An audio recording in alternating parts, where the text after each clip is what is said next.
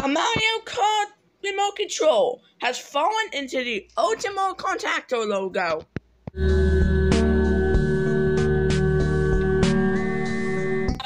Last Idol A Mario Kart remote control has fallen into the Ultimo Contacto logo.